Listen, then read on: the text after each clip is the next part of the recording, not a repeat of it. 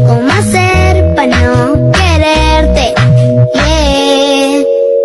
Tú, tú, nadie como tú, tú. No hay un sustituto para ese cuerpo tuyo que a mí ya me quiere.